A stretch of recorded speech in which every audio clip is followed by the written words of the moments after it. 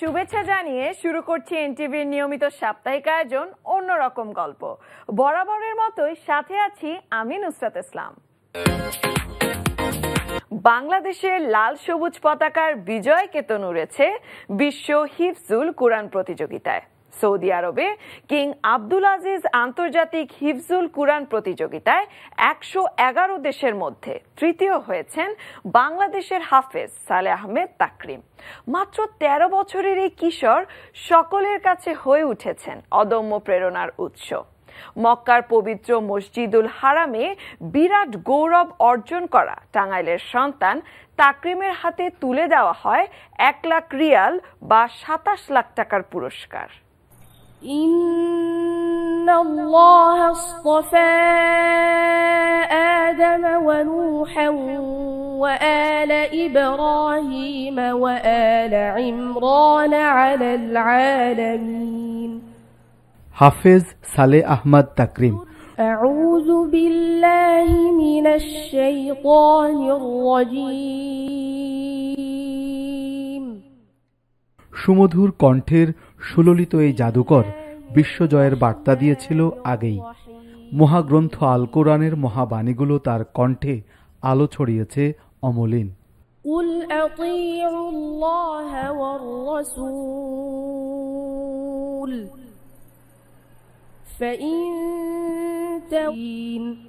এই বছরের মার্চে ইরানে আন্তর্জাতিক হিফজুল কোরআন প্রতিযোগিতায় প্রথম হয়েছিল ১৩ বছর বয়সী খুদে হাফেজ তাকরিম। আর সেই তাকরিমই সেপ্টেম্বরে এসে করল বিশ্বজয় সৌদি আরবের মক্কায় বাদশাহ আব্দুল আজিজের নামে আয়োজিত হিফজুল কোরআন প্রতিযোগিতার বিয়াল্লিশতম আসরে অর্জন করে নিয়েছে তৃতীয় স্থান আন্তর্জাতিক হিফজুল কোরআন প্রতিযোগিতায় নিজেকে কোরআনের নূরে আলোকিত করলেন হাফেজ তাকরিম صالح أحمد تكريم من جمهورية بنغلاديش الشعبية والجائزة مئة ألف ريال বিশ্বের দরবারে সোনার হরফে লিখালেন লাল সবুজের বাংলাদেশের নাম। একশো এগারোটি দেশের দেড় শতাধিক প্রতিযোগীকে পেছনে ফেলে ছিনিয়ে নেন তৃতীয় স্থান। পবিত্র মসজিদুল হারামে অনাড়ম্বর আয়োজনে পুরস্কার হিসেবে তার হাতে তুলে দেয়া হয়েছিল এক লাখ সৌদি রিয়াল।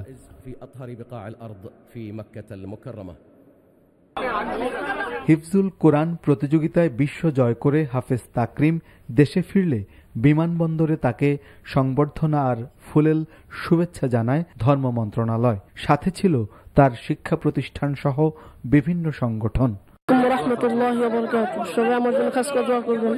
আমার কাছে খুব ভালো লাগতেছে। আমার জন্য দোয়া করবেন সবাই আমার জন্য খাস করে দোয়া করবেন। হাজারো মানুষের ফুলেল শুভেচ্ছায় সিক্ত হন হাফেজ তাকরিম। আন্তর্জাতিক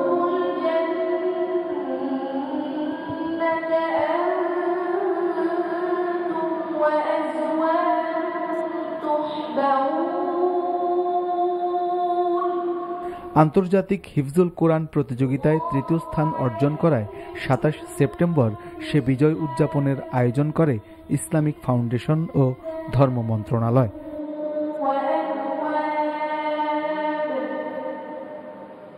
যে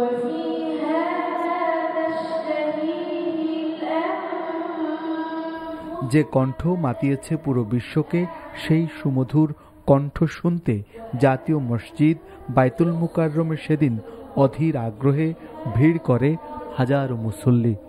প্রাথমিক শিক্ষক তার বাবা। তিনি বুঝতে পেরেছিলেন যে আমার এই সন্তানকে যদি দেশ সেরা অথবা বিশ্ব সেরা করতে তাহলে বিজ্ঞ নাবিকের হাতেই তাকে তুলে দিতে বিশ্বজয়ী এই হাফেজকে দেয়া হয় ফুলেল সংবর্ধনা। তাদের এমন আয়োজনে মুগ্ধ তাকরিমের বাবা ও শিক্ষকরাও। চোখের পানি আল্লাহ তাদের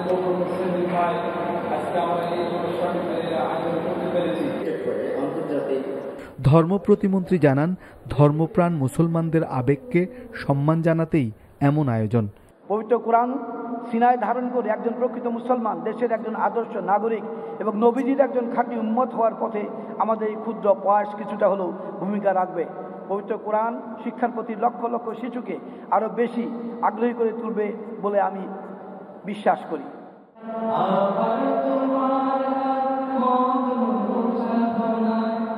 এই সংবর্ধনা মাদ্রাসা শিক্ষার্থীদের আরও বেশি অনুপ্রাণিত করবে।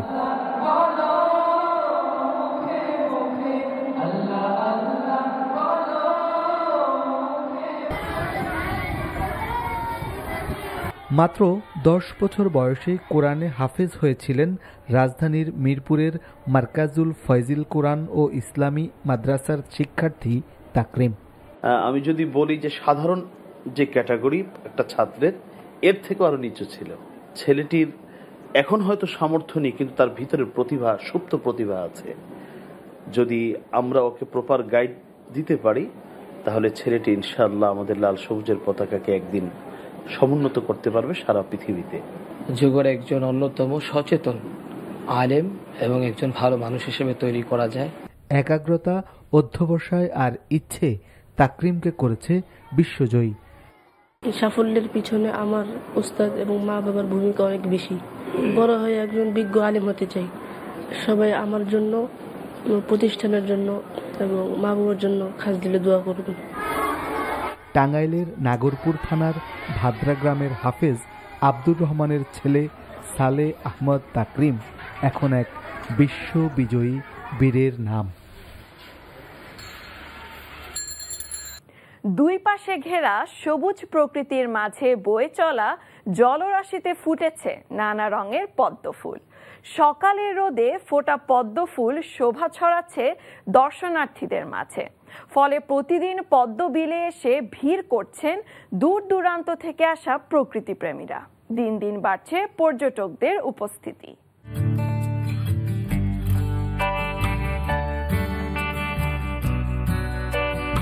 বিলের একাংশে ফোটে শাপলা, অপর অংশে ফোটে পদ্ম। এ চিত্র দিনাজপুরের নবাবগঞ্জের জাতীয় উদ্যান সংলগ্ন আশুলা বিলের। বিস্তীর্ণ বিল জুড়ে থই থই করা জলধারা, বিলের চারপাশে সবুজের সমাহার, সাথে ফুটে থাকা শাপলা আর পদ্ম ফুল। এ যেন শিল্পীর নিপুণ হাতে গড়া, লাল সাদা আবরণে মোড়ানো এক অপরূপ সৌন্দর্যের কারুকাজ। বিলের এই মুগ্ধ দৃশ্য দেখে দুই নয়নে তাকিয়ে আছেন শত শত দর্শনার্থী। সাদা এবং লাল শাপলা ফুলের সমাহার দেখে আমি মুগ্ধ। আমি এখানে ঘুরতে এসেছি। ঘুরতে এসে শাপলা এবং পদ্ম ফুল দেখে আমাদের মন প্রায় জুড়িয়ে গেল। এই ফুলটা যখন ভোর ছয়টার থেকে প্রায় আটটা পর্যন্ত এই ফুলটা ফুটে থাকে। অনেক সুন্দর দেখা যায় অনেক মানুষ এখানে দেখতে পাচ্ছে। ফরিদপুর জেলা শহর থেকে প্রায় পঁচিশ কিলোমিটার দূরত্বের রণকাইল চাপাই পদ্মবিল যা এখন সবাই পদ্মবিল নামেই চেনে। প্রায় তিনশো একর জায়গা নিয়ে এই বিলের বেশিরভাগটা নিয়ে রয়েছে পদ্ম ফুল এখানে বেড়াতে আসা দর্শনার্থীদের দাবি ভাঙা রাস্তার আধুনিকায়ন করে পর্যটকদের জন্য একটি বিশ্রামাগার নির্মাণের। দেখার মতো একটা পরিবেশ ইনশাল্লাহ হয়েছে। নেত্রকোনায় গোবিন্দ চাতল বিল নয়নকারা এই পদ্ম বিল ব্যস্ত নগর জীবনে বয়ে এনেছে প্রশান্তির ছায়া।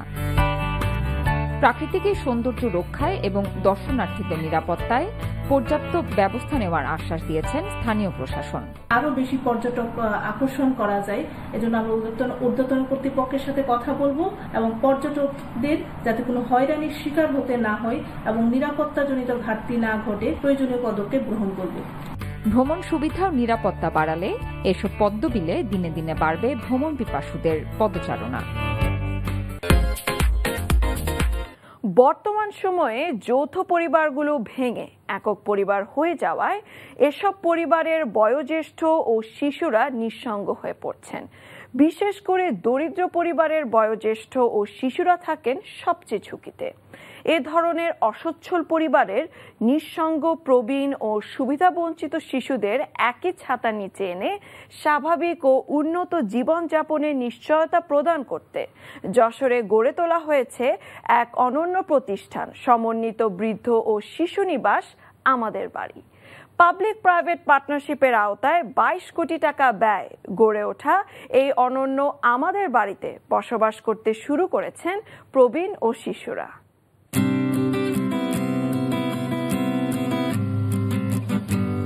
যশোর শহর থেকে ২০ কিলোমিটার উত্তরে প্রত্যন্ত এক গ্রাম, নাটুয়াপাড়া।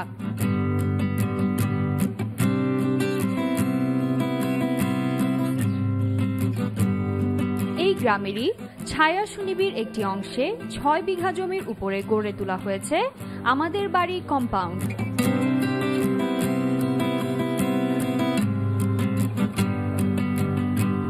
সমাজ কল্যাণ মন্ত্রণালয় ও বেসরকারি সংস্থা জিএমএসএস ফাউন্ডেশনের যৌথ উদ্যোগে গড়ে ওঠা এই সমন্বিত বৃদ্ধ ও শিশু নিবাসে একই সঙ্গে থাকতে পারবেন একশো বিশ জন প্রবীণ ও শিশু।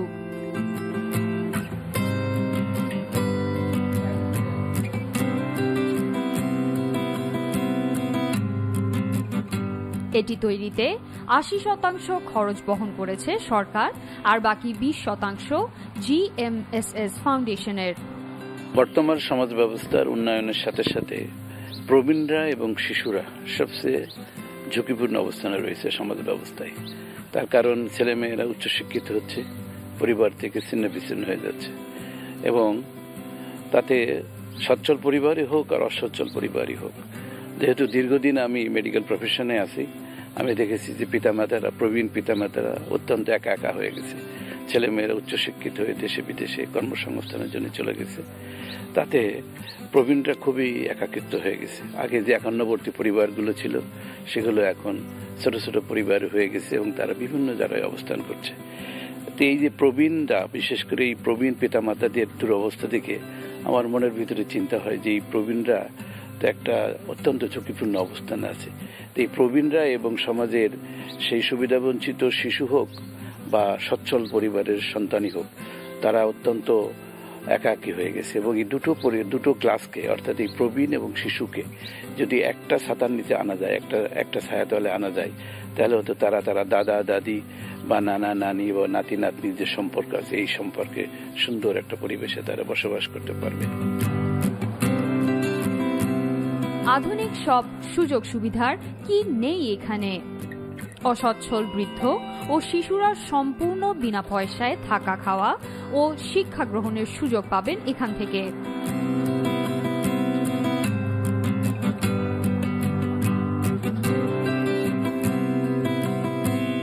প্রবীণরা যাতে শারীরিক ও মানসিকভাবে সুস্থ ও আত্মবিশ্বাসী থেকে নিজেদেরকে ক্রমক্ষম রাখতে পারেন, সেজন্য হাঁস মুরগি, গবাদি পশুপালন মাছ চাষ ও সহজ সাধ্য হাতের কাজ করার ব্যবস্থা রাখা হয়েছে।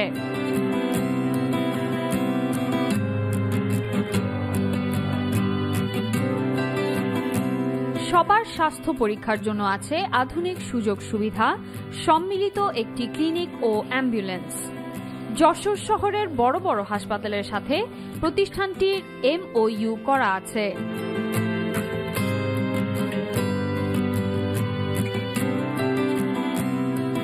এখানকার সবার জন্য রয়েছে উপ আনুষ্ঠানিক বৃত্তিমূলক ও কারিগরি শিক্ষা গ্রহণের ব্যবস্থা।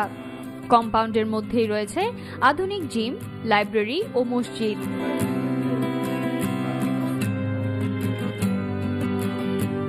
শীততাপ নিয়ন্ত্রিত বেশ কয়েকটি সেমিনার কক্ষ ছাড়াও এখানে আছে নিজস্ব নিরবিচ্ছিন্ন বিদ্যুৎ সরবরাহ ব্যবস্থা।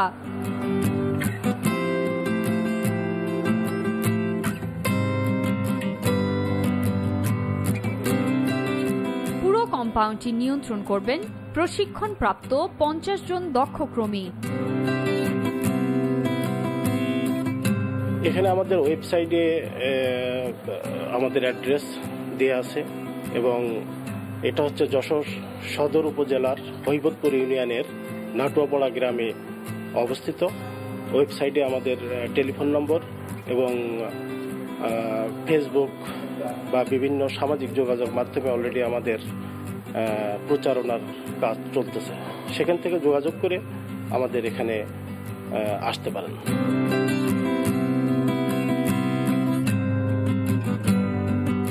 সংশ্লিষ্টরা জানান, আমাদের বাড়িতে অবস্থানকারী প্রবীণ ও শিশুদের তিরিশ শতাংশ সম্পূর্ণ বিনামূল্যে রাখা হবে।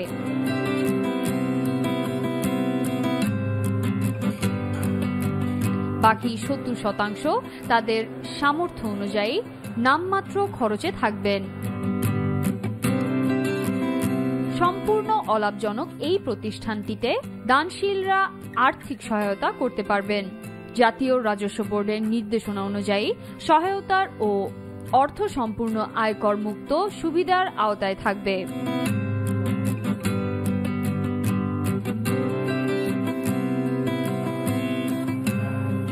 এখানে থাকছি, আমরা জীবন ভরে যা কাজ কাম করেছি, খাইছি, বাইরে। এখানে এসে আমার কাছে খুবই ভালো লাগছে, এই জায়গাটাও খুব ভালো, আর এখানে যেনারা আমাদের রেখেছে, দেখাশোনা করতেছে, খুবই সুন্দর। খাওয়া দাওয়া সব সাইডে স্যার খুবই ভালো।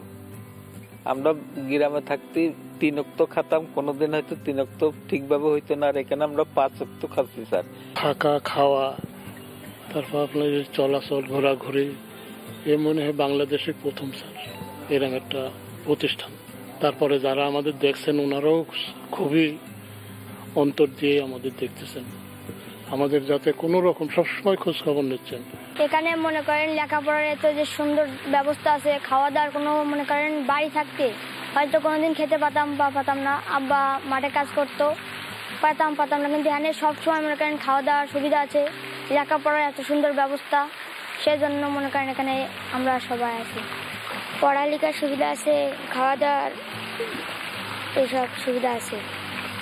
এইখানে কোনো কাজ করা লাগে না পড়ালেখা পড়ালেখা আছে খাওয়া দাওয়া আছে খেলাধুলার টাইম দেয়। বাড়িতে জায়গা আরও বেশি ভালো। এখানে খাবার ঠিক মতো দেই পড়াশোনা ঠিক মতো করতে পারি খেলাধুলা করতে পারি বাড়ি ওসব করতে পারতাম না। আমাদের বাড়ি কর্তৃপক্ষ জানান ইতোমধ্যে সাতজন প্রবীণ নারী, পুরুষ ও শিশু আমাদের বাড়িতে বসবাস শুরু করেছেন। অনলাইন সহ বিভিন্ন মাধ্যমে আরও পঞ্চাশ জন আবেদন করেছেন। তাদের আবেদনপত্র যাচাই বাছাই করা হচ্ছে। আমি এই প্রতিষ্ঠানের নাম যেমন আমাদের বাড়ি করেছি, আমাদের বাড়ি করার উদ্দেশ্য হচ্ছে এখানে এতিম বা তারা ওই, এই কথাটা আমার ব্যক্তিগতভাবে পছন্দ করি না বা বৃদ্ধ। কারণ আমি নিজেও তো এখন সেভেন্টি ওয়ান ইয়ার্স আমি চোদ্দ পনেরো ঘণ্টা কাজ করি। তা আমি তো প্রবীণ হতে পারে, আমি এক্সপিরিয়েন্স হতে পারে, আমি তো বৃদ্ধ হয়ে যে এখন ঘরে বসে থাকব, এই এই জিনিসটা তো নাই।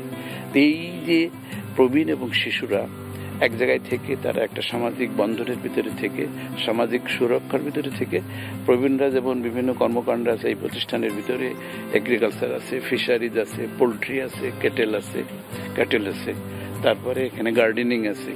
কম্পিউটার প্রশিক্ষণ কেন্দ্র আছে, এখানে হ্যান্ডলুম আছে, এখানে লাইব্রেরি আছে, এখানে জিমনেশিয়াম আছে, বিভিন্ন ধরনের উপকরণগুলো আছে। অর্থাৎ তারা যে শুধু বসে বসে বসে খাচ্ছে, খেয়ে অকর্মক হয়ে তা না, তারা নিজেরও ফিজিক্যালি সক্ষম থাকছে। আমাদের বাড়িতে বসবাস করতে ইচ্ছুক প্রবীণ নারী, পুরুষ ও শিশুরা দেশের যে কোনো জায়গা থেকে সংস্থাটির ওয়েবসাইটে দেয়া ফর্মের মাধ্যমে আবেদন করতে পারেন।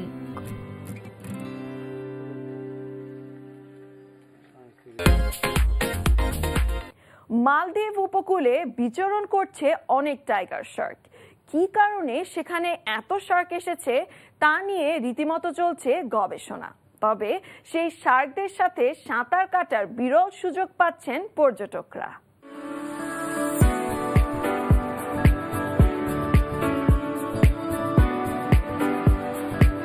কখনো কি ভেবে দেখেছেন? শার্কদের সাথে সাঁতার কাটতে কেমন লাগবে? এই প্রশ্নের উত্তর পেতে চলে যেতে হবে মালদ্বীপসে। মালদ্বীপসের প্রাকৃতিক সৌন্দর্য বরাবরই আকর্ষণ করে পর্যটকদের। এবার সেই আকর্ষণ আরও বাড়িয়ে তুলেছে টাইগার শার্ক। কেননা, মালদ্বীপসের ফুবালামুলা আইল্যান্ডে আশ্রয় নিয়েছে অনেক অনেক টাইগার শার্ক। যে কোনো পর্যটকরা এসব শার্কদের সাথে সাঁতার কাটতে পারছেন। বিশ্বের যে কোনো জায়গা থেকে সবচেয়ে বেশি টাইগার শার্ক পাওয়া যাচ্ছে মালদ্বীপসের ফুবালামুলা আইল্যান্ডে।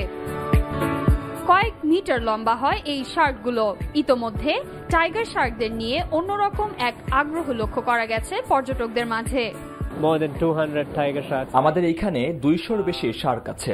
এই সময় এখানে বিশ্বের যে কোনো জায়গা থেকে সবচেয়ে বেশি টাইগার শার্ক পাওয়া যাচ্ছে. মালদ্বীপসের সাবেক ভলিবল প্লেয়ার হামনা হোসেন। তিনি তার পেশা বদল করে হয়েছেন শার্ক গাইড ডাইভিং করে আমি স্বস্তি বোধ করি। এটা আমার ক্যারিয়ার বদল করার অনেক বড় কারণ। আর এখানে শার্কদের সাথে ডাইভ করে অন্যরকম এক অভিজ্ঞতা হয়েছে। Sense of who you are. Shark পর্যটকদের জন্য আকর্ষণীয় হলেও তারা বিপাকে ফেলেছে দেশটির জেলেদের। কেননা শার্কগুলোর কারণে তারা আগের মতো সুস্বাদু টুনা মাছ সংগ্রহ করতে পারছেন না। চলে এসেছি অনুষ্ঠানের একেবারে শেষ প্রান্তে। প্রতি সপ্তাহে দেশ বিদেশের বিস্ময়কর ও মজার সব খবর নিয়ে দেখা হবে আবারও। কেমন লাগল আমাদের আয়োজন বা কোনো পরামর্শ থাকলে জানাতে পারেন চিঠি লিখে। আমাদের কাছে চিঠি লেখার ঠিকানা প্রযোজক অন্যরকম গল্প, এনটিভি, বিএসসিসি ভবন, একশো দুই কাজী নজরুল ইসলাম অ্যাভিনিউ, কারওয়ান বাজার, ঢাকা এক দুই এক পাঁচ। দেখা হবে আবারও আগামী সপ্তাহে বুধবার সন্ধ্যা ছয়টা পঁয়তাল্লিশ মিনিটে। সে পর্যন্ত ভালো থাকুন, সুস্থ ও নিরাপদে থাকুন।